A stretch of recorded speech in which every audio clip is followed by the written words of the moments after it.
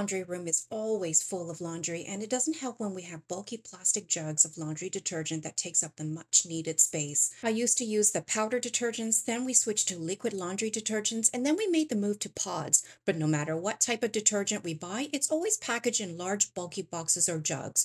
So I was really excited when Active sent me these laundry sheets to try out. This little box literally takes up no space in my laundry room, and it does up to 80 loads. What I'm curious to know is if it will do the job and whether it will smell. Typically, laundry detergents are strongly scented, which I generally don't mind, although I know there are a lot of you out there that don't like your fresh laundry to be scented. This box says it has a fresh linen scent, so I'll test it out and let you know how strong it is. Here, I'm just putting in the last of our dirty towels. And now let's take a quick look at the instructions. So each sheet comes with two strips that you can tear apart for smaller loads. It looks like you can use these sheets for both front load and top load washing machines, so that's good.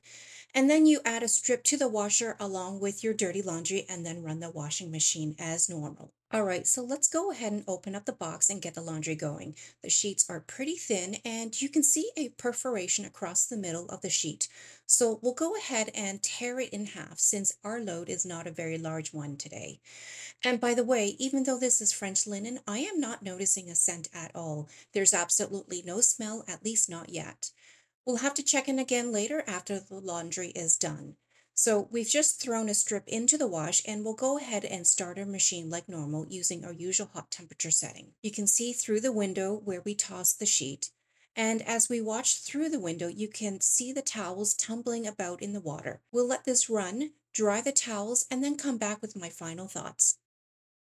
Okay, so we have all the towels folded up now. They're all nice and clean. We've already used a couple of the towels and there was no irritations whatsoever on the skin. Further, there's no scent at all.